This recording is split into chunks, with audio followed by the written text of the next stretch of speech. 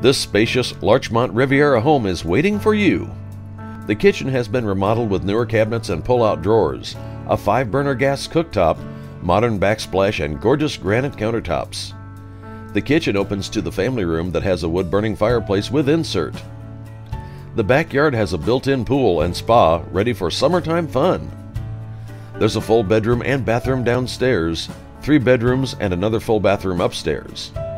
Explore the possibilities in person with Mary Grebitus.